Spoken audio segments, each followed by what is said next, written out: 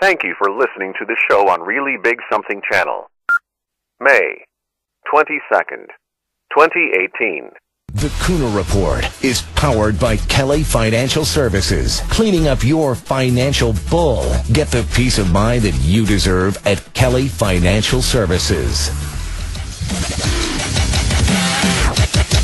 He's laughing at us. He is literally laughing at us, my friends. Okay, as you know, this Thursday at 4:15 p.m., the Kuhner Man is going to be leading a major rally to impeach Judge Feely. It's going to be held at the uh, J. Michael Ruane Judicial Building, the Salem Superior Court, on Federal Street in Salem, Mass. At 4:15, uh, Geoff Diehl will be speaking. Re- Representative Jim Lyons will be speaking. Others will be speaking, but in particular. A person that is going to be beside me will be Lucy Kohler.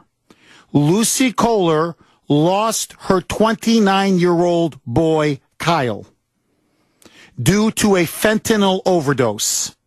She has been in front of that courthouse every day for the last week or so protesting F.U. Feely and how he was able to release a convicted known, admitted, notorious local heroin dealer, Manuel Soto Vittini, who was caught by police with over 40 small bags of heroin. A known, uh, notorious heroin dealer that Salem police say is responsible for countless deaths and countless overdoses. Feely let him out without even a second in prison. Not even a second. And in his ruling, he openly praised him as a family man who had just committed a quote money crime because he was looking after the best interest of his family. He's a businessman. He's an entrepreneur. He's just trying to make a living. And another reason why he deliberately did not uh, put this man in jail, the prosecutor wanted at least two to three years, was because had he gone to jail, they would have revoked his green card and they would have sent him back to the Dominican Republic. This poor woman has been in front of the courthouse now almost every day and I'm going to have her on the show on Thursday at 2:45. It's going to be the last segment before we head off for the rally at 4:15. I got off the phone with her. What was it, Brittany? Maybe an hour and a half ago. I spoke to her. Let me tell you exactly what she told me. The poor woman is in tears when she was recently at the courthouse after Feely decided to free this uh, this scumbag, this animal. Okay, Uh, nobody else wants to call him that. I'll call him that. He's a heroin drug dealing animal. After Feely decides to free him, she was at the courthouse holding a picture of her dead son. One of Feely's staffers. I don't know if it's his clerk. I don't know who she was walked up to her and said, how dare you protest Judge Feely? He is not just a good man, he is a great man. And then when Lucy Kohler said, well, you wouldn't think that if you lost your child, she then turned around and said to Lucy Kohler, so you guys are going to be holding a rally with a little uh, wink of the eye? Good luck with that. And she started to laugh in Lucy Kohler's face. Okay? They're laughing in our faces. Lucy Kohler, almost breaking down in tears, told me she was so sarcastic, so nasty. Jeff, these people think that they're God. They think they're so arrogant. They're so drunk with power and hubris that when I'm there protesting the fact that this is an out of control, arrogant judge, a corrupt judge, who has let loose cop killers, child rapists and molesters. He let, he let go a man who repeatedly raped and molested a 12 year old girl. And then she says to me, this is the man that is releasing now a notorious heroin dealer that has been destroying our community and claimed the life of my boy. And I'm asking for simple justice. And she laughs in my face because they think he's so untouchable. They're laughing at us. They're laughing at us. And not only are they laughing at us, a lot of Salem police officers are telling me, first of all, they can't stand this guy. And think about it from their point of view. Really, what's the point of them doing their job? I mean, if I'm a Salem police officer and here I am, I set up an elaborate sting operation. We know this guy, Soto Vittini, is a known big time drug dealer, heroin dealer with his fancy black Volvo and his swanky apartments and his $2,000 suits and his villa in the Dominican Republic with the jewelry all over him and the, the bundles of cash. By the way, he's been dealing every, been dealing every day for years and years and years. They have been dying to take this guy off the streets. They set up this sting operation. They catch him giving selling heroin to a woman in a Honda Accord. They catch him with over 40 bags of heroin. By the way, all the also bags of cocaine, but let that go. In hidden secret compartments. He freaking pleads guilty. And then this judge, F. U. Feely, blank you, I'm going to let him out on the streets. He won't even spend a day in prison because, God forbid, we should deport his rear end back to the Dominican Republic. Because he's a family man. He's an entrepreneur. He's a businessman. He's trying to provide for his family by peddling death and peddling poison. That's killing our kids. He's just, he's a good man trying to make a living. This poor woman I want you to think of the injustice. I really want you to think about it. Is there peacefully protesting, holding her sign of her, uh, as a sign in the picture of her dead boy, saying, this are the victims of Feely's drug dealers. And his assistant or staffer, whoever she is, and his assistant or staffer, whoever she is, I'm going to track down her name. I'm going to get her name walks up to her out of her way and, and starts laughing in her face. Feely is telling people that there's only 50 or 60 people that are going to show up at our rally on Thursday. The police in Salem are now concerned. I'm being very honest with you. They're saying this is now the situation. We did this drug operation, this sting operation. We put God knows how many hours of manpower and time into this. What's the point of us arresting? Did this drug operation, this sting operation. We put God knows how many hours of manpower and time into this. What's the point of us arresting these heroin dealers when he's letting them out on the streets? We arrest them. He lets them out. We arrest them. God knows how many hours of manpower and time into this. What's the point of us arresting these heroin dealers when he's letting them out on the streets? We arrest them. He lets them out. We arrest them. He frees. People of Massachusetts don't care. The people of Salem don't care. The victims don't care. The victims' his families don't care. Good luck with that rally. Wink, wink. Wink, wink. Yeah, get your 50 people out on the sidewalk. You can't touch us.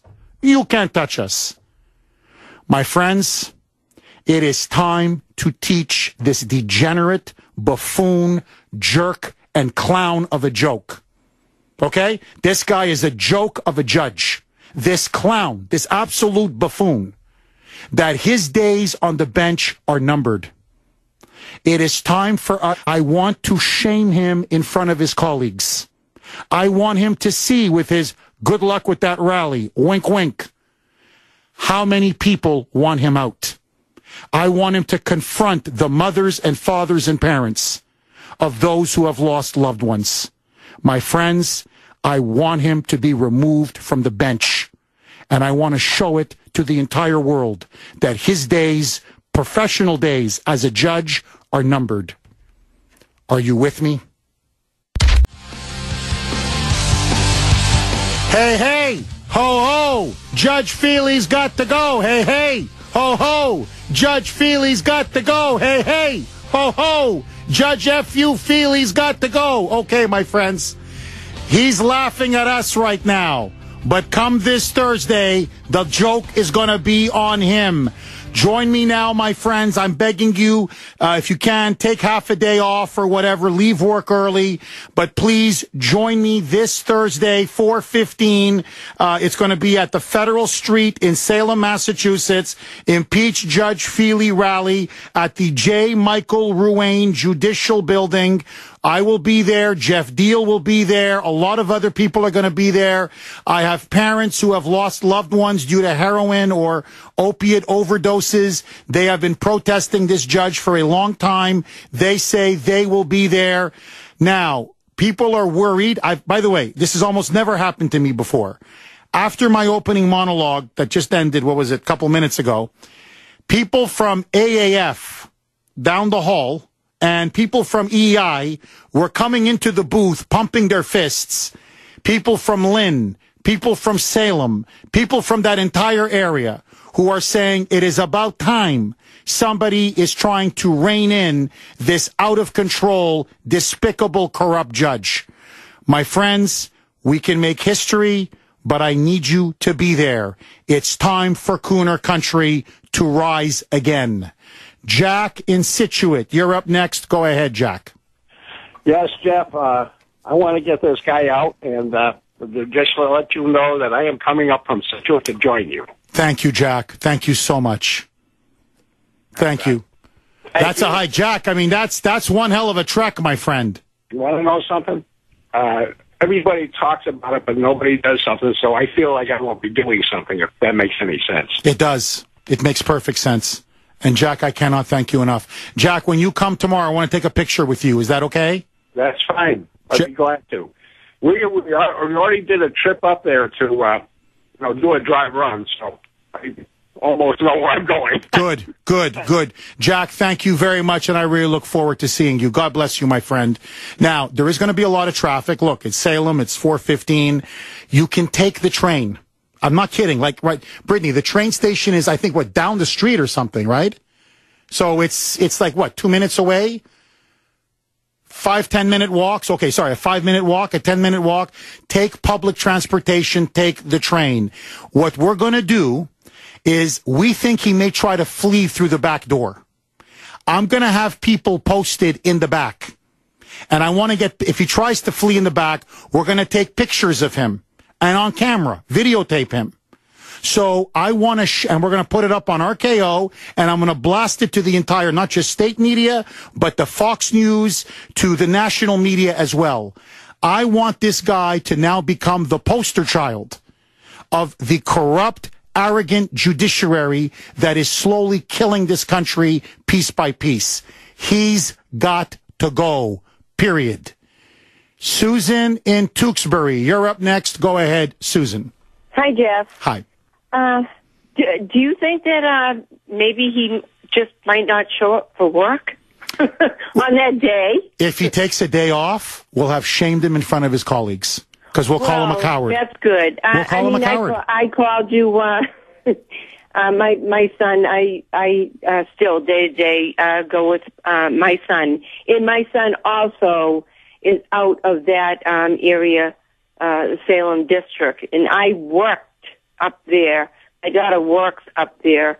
It's um, you would just see people passed out.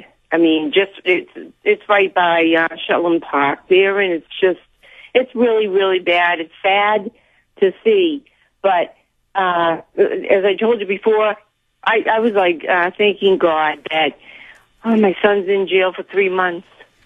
He's got to live for three months more. This is ridiculous. Uh, these people do actually laugh. As you say, they laugh. They do not care. They're still going to get their money. Oh, and if they are shamed, they are what?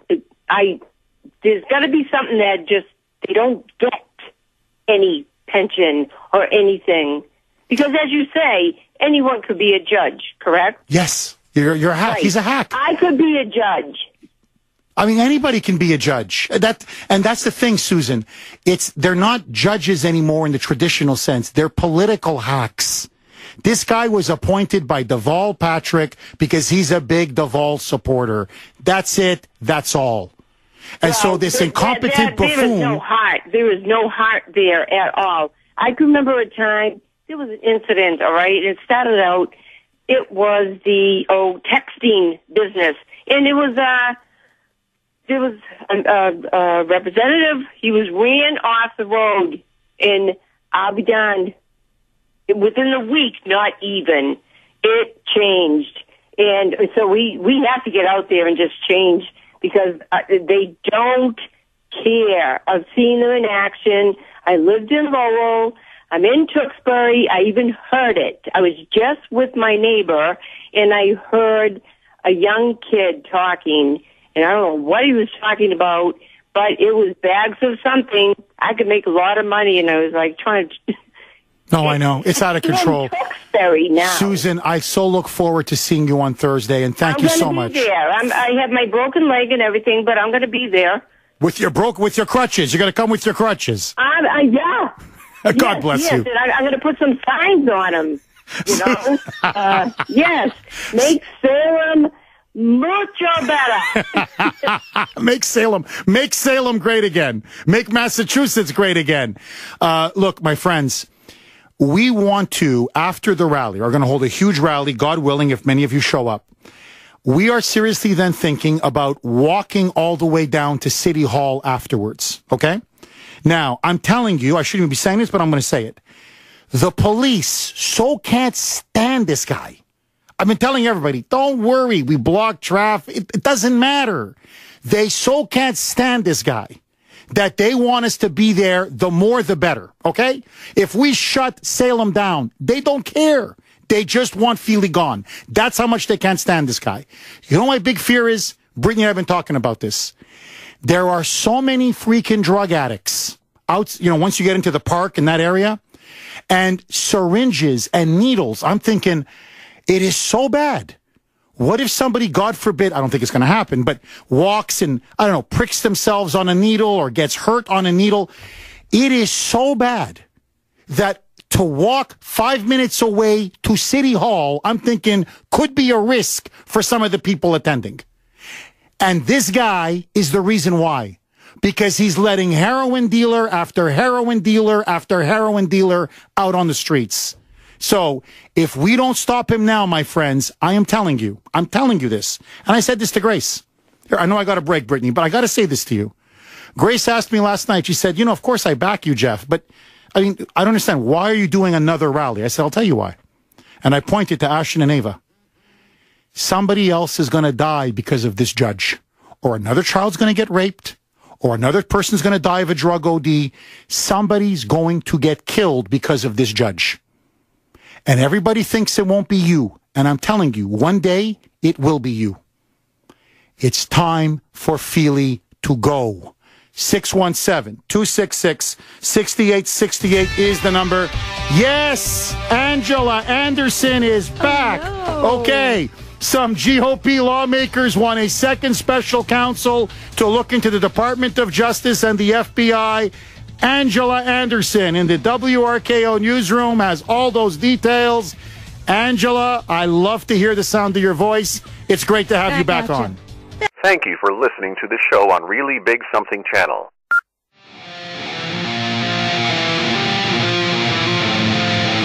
Twelve thirty-eight here on the Great WRKO. Okay, this judge's arrogance knows no bounds. Spoke with Lucy Kohler just a couple of hours ago. You'll hear it. She'll say it publicly on this show. Uh, Thursday at about 245, 250. It'll be the last segment before we head off for the big uh, rally to remove Judge Feely from office. We're going to be holding it this Thursday, 415. It is going to be in front of the Michael J. Ruane building on Federal Street in Salem. That's where Judge Feely works. I'm hoping all of you can join us. Uh, if you're taking the train, it's very easy. It's about five minutes away, the actual train station. Uh, you get off right there. It's about a five minute walk. It is the Salem stop on the commuter rail, the Rockport Newburyport line.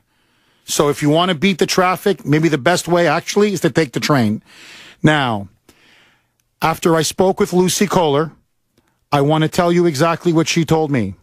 She lost her son Kyle, age 29, from a fentanyl overdose. She could not believe that Judge Feely let that heroin dealer out without a second in jail. She decided to bring a picture of, uh, of her son uh, and a sign to protest Feely. One of Feely's staffers, and I want to find out who she is, went out of her way, walked up to her, and said, How dare you protest Judge Feely? He is a good, decent man. In fact, she called him a great man. And then laughed in her face about the rally. As when Lucy Kohler said, Well, you wouldn't be saying that if that was your child that was dead. And that's why we're going to be holding a rally. Her response was, Yeah, right, with a wink, sarcastically, good luck with that rally, laughing and then walking away. They're now laughing in our faces. That's how arrogant this judge is. And I want to give a big hat tip to many people. Uh, Dan Ray has also been leading this charge on his show at night on WBZ. I know how he's been on this story as well. I want to give a hat tip to Dave Copeland. Listen to this. He's got a story out uh, in the patch, patch.com, uh, the controversial decisions of Salem Judge Timothy Feely. I don't want to get into all of them because I don't want to, they'll take up the whole show. You know about the heroin dealer. You know about Daniel Bove. I talked about him, who was accused repeatedly since 2000, since 2000, going back 18 years, of repeated sex crimes. Accused of molesting and repeatedly raping a 12 year old girl. Feely let him walk and allow, and said he could in fact do home. He was in the home renovation business. He could do home renovation projects anywhere he wanted, even if there were children at the house. Now, listen to this. Gets worse. With this guy, it gets worse. He released John Williams, who was arrested on 80, almost 80 serious gun charges. He let him loose. A month later, he killed Corporal Eugene Cole in Maine stole his vehicle, and then robbed another store. The prosecutors could not believe that he allowed Williams to walk the streets. Cole is dead. His family is now grieving. They say they are shattered forever. Listen to this, though. Dave Copeland's got it all, okay? Here, listen to this one. Ian Kessel and Dalvin Andini, or Andino, forgive me. Ian Kessel and Dalvin Andino they were arrested on multiple charges of robbery. The two men violated the conditions of their release. And yet, over prosecutors' objectives, he let Kessel off for a simple $5,000 bail, okay, bond bail, and Andini was released on $10,000 bail. So he's letting criminals out essentially for a song. But it gets worse. Hold on to this. There was the state trooper, Timothy Downs. Sorry, Thomas Downs, State Trooper Thomas Downs. Downs was convicted in 2015 of beating up and assaulting his ex-girlfriend in Salisbury. So he was convicted. He beat the living daylights out of her, okay? The guy's a, a woman beater. To me, there's nothing lower than that. But let that go. Feely reduced down sentence to two years probation. He didn't even serve a freaking minute in jail for beating the living daylights out of his own ex-girlfriend, beating her black and blue. And all he did was he ordered him to complete a batterer's intervention program. Essentially take anger management classes. That's what it is. That's it. That's it. Blank you. Oh, and undergo a substance abuse evaluation because the guy was on drugs. You know, oh, wow. Ooh, ooh, Timmy. Ooh, Tim. Hey, F you, Feely. Take it easy now. Don't be so tough on these people. Jaheim Ford. Two bail hearings for him. Charged in an 80 count indictment for allegedly running a scheme of massively defrauding people with his contracting business.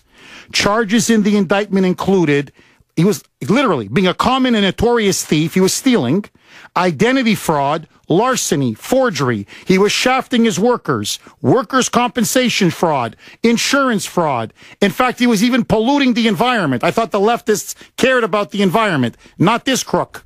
Not this crook. Feely, listen to this. The um, initially his bail was set at seven hundred and fifty thousand dollars. Judge Feely said he can't pay seven hundred and fifty thousand dollars. He reduced it to seven thousand five hundred dollars. When the prosecutors found out that he paid out of the stolen money, that he, the money had stolen for that 7,500, they demanded at a second bail hearing, okay, set bail at 250,000. Feely said, no, no, blank you. He reduced it to $15,000 and the guy walks free like a bird. Now, I want to know something very obvious. No one else has the guts to say it on the air. I'm going to say it. Is this judge on the take? Because I'm looking at heroin dealers, I'm looking at cop killers, I'm looking at burglars, I'm looking at people are uh, con men, I'm looking you name it. I'm looking at the the, the the the criminal of the criminals in our society are going in front of this judge and their bails are being reduced dramatically and they're basically being released without serving a day or a moment in prison. And a lot of money is exchanging hands. I don't just want him removed. It is time to investigate Judge Feely. I want to look at his bank records. I want to look at his financial statements. I want to see what's going on with this judge because something doesn't smell right. And I want to say one final thing. I want you to think of this. You just lost your son. Your son. I have a son. Okay, he's eight. And I said this to Lucy. I said, you know, Lucy, I know what Kyle was like. You don't have to even tell me. My boy is eight. I bet he played outside with other kids. She said, yes. I bet he loved the Red Sox like my boy does. Yes. I bet he liked to play with animals and insects. Yes. And you see him when he's eight, innocent, the whole world in front of him. And that's what stays in your mind. That innocent boy that you gave life to, that you gave birth to, that you took care of. You're the mother. And because your son, I don't know, gets a bad back, gets addicted to opiates, has an injury, God forbid, goes to high school or college, gets in with the wrong crowd, and they start introducing him to this highly addictive poison. And 20 years later, he's not the boy that you knew. It's almost like the devil has possessed him. And your last days with him are him with his liver failing, his heart failing, his lungs failing, his brain damaged. This drug has consumed and destroyed him. And this, forgive me, this Blanken judge praises the heroin dealer, praises the drug dealers. And when you stand there asking for justice for your boy, he sends one of his minions to walk up to you and laugh in your face and say, Good luck with that rally. Ha ha ha ha. Nobody can touch me. My friends, this is not liberal. This is not conservative. This is not Republican. This is not Democrat. This is human. This is human. I'm talking now as a human being. This is basic civilized decency. This judge needs to be impeached and he needs to be impeached now. Kuhner country, it's time for us to rise again. Please join me this Thursday and let's send this judge a message and his arrogant, corrupt cronies a message they will never forget. WRKO. John in Boston, you're up next. Thanks for holding, John, and welcome. Hi, Jeff. Hi. Yeah, so uh, when you when you said that they, he thinks there's only going to be 50 people there, I said I'm definitely going, and I am on crutches. You're kidding. No, I'm not kidding at all. You know that really pushed me over and made me uh, definitely going to be there because this guy thinks that there's only going to be 50 people or whatever. It's Yeah, that's what he's that's what he's telling the cops in Salem. He's laughing, saying, "Yeah, yeah, big Well- rally, 50 people are going to show up." Well, that made me want to go even more. And um, and I've been uh, sober and clean three years now. God bless you, John. And I'm not uh, per se. I'm not a heroin addict, but I am an addict, and um, I'm not responsible for my disease. I am responsible for my recovery, though. John, so you've been clean and sober now for the last three years? Yes, sir. Beautiful. John, just stay clean and sober, and the whole world's in front of you, my friend. All right, man. John, I look forward to meeting you. I will meet you. I want to shake your hand and take a picture with you. Okay, John? Thank you so much for coming. I really, honestly, I know it's hard. It's the middle of the day almost. It's 415. A lot of you got kids to pick up. You've got work. This will make a tremendous statement. And we're going to do it where Feeley works, the hours that he's supposed to be ending his day, and in front of his colleagues. There is nothing more humiliating there is nothing more that is damning than to see him be exposed like this in front of his colleagues. And maybe, just maybe, we're going to wipe that arrogant smirk off of his face and that of his staff. 617-266-6868. John in Somerville. You're up next. Go ahead, John. Hello, Jeff. I want to make two quick points. Yes. The second one will be about the judge. The first one is more important. Tomorrow, the legislature will be taking up the red flag gun bill, which is a gun confiscation bill. I'm very concerned and disturbed. You're not talking about this, Jeff. You're more concerned with the drug addicts than our constitutional rights. I don't hear Geoff Diehl speaking about this. Why, Uh, why haven't you mentioned this, Jeff? Uh, John, we should, be at the, uh, we should be at the state house stopping this bill, Jeff. John, I'll be honest with you. This is the first I've heard of it. It's not a conspiracy, John. I mean, you know, I'm very pro Second Amendment, and I will definitely look into that story. I promise. Um, and please, what's your second point, John? Go ahead. just simply saying every time we speak about gun rights, everything you're saying is a lie, and so is Geoff Diehl. And let's get talk about the judge for a minute. There's a very good reason the judge let this guy go. The jails are overflowing. There's no room for the bad criminals. I don't. I don't think he did the wrong thing. I am telling you that the crime rate is out of control, and there's no room for the serious criminals. And I think you should have the judge come on the show and give his opinion. Oh, he's a he's a coward. He won't come on. I've invited him multiple times. He's a coward. He won't come on. That's number one. Number two, in fact, he's running from me and he's running from anybody who challenges him. Number one. Number two, uh, a heroin dealer. I don't know what's more serious than that.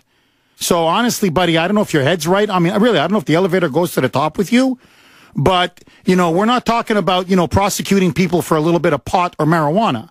Okay. I'm talking about hardcore heroin that is killing 60,000 Americans a year, 2,000 in Massachusetts alone. And you're telling me this judge did the right thing? Are you freaking kidding me? So how about when he let out the other guy on the serious gun charges who ended up killing a cop? He did the right thing then? How about the guy that raped that 12 year old girl? He did that. That was the right thing again? I mean, it's, it's pathetic. And you're like, you know, have this judge come on and give his side of the story. I will give him all the time in the world. That corrupt loser has no guts to come on my show.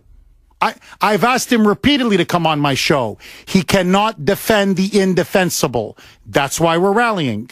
617-266-6868. Arthur in Chestnut Hill. You're up next. Go ahead, Arthur. They've been laughing at us for a long time uh, in this state, and the reason is is because nobody runs for office, and they and they and uh, they just control the whole uh, state, the whole legislature, and we need to run for office. That said, I have my own story with a woman that worked for me for many years who had a who had a who had a son, and unfortunately, you know, he was hooked for 17 years, and then and then he died. Every every year on the date of his death, uh, she broke down and cried and had to go home. She just and it, it was awful to watch. And you can imagine what her what she must have gone through, because with with uh, kids, and then they become adults. You know, you, you- I've had it myself. You're helpless. You you there's, there's there's nothing you can do but watch someone you love turn into somebody you don't know anymore and and and the, and the system makes them worse. She knew so much about the places that he that he went to, and this guy Jeff, he had a beautiful wife and two beautiful uh, young daughters, twins. And at his wake, the the funeral parlor was was was lines t- for a mile long every single night for five nights. So you stop and think that all the support and love and all the friendship and all everybody that was and, and the family that he had, and he still couldn't lick it. I know, Arthur. I know, and and that this judge is laughing in our face and letting these people loose on the streets. He's a, he, he, he, there's a special place in hell for a guy like him. I agree with you, Arthur. Arthur, very good call as always. Thank you so much. Okay, my friends, the rally is going to be this Thursday, 415 at the, um, it's going to be the impeach Judge Feeley rally at the J. Michael Ruane Judicial Building. That's where this Judge Feeley works, F.U. Feeley. It is on Federal Street in Salem, Mass. It will start at 415. Please, if you can, come for everybody, for your children, for the parents of those who have died, uh, for Lucy Kohler, for her son. You can also take the train. It's the Salem stop on the commuter rail, the Rockport Newburyport line. Okay, my friends. Angela is in the newsroom with the absolute latest on what's going on. Take it away, Angela.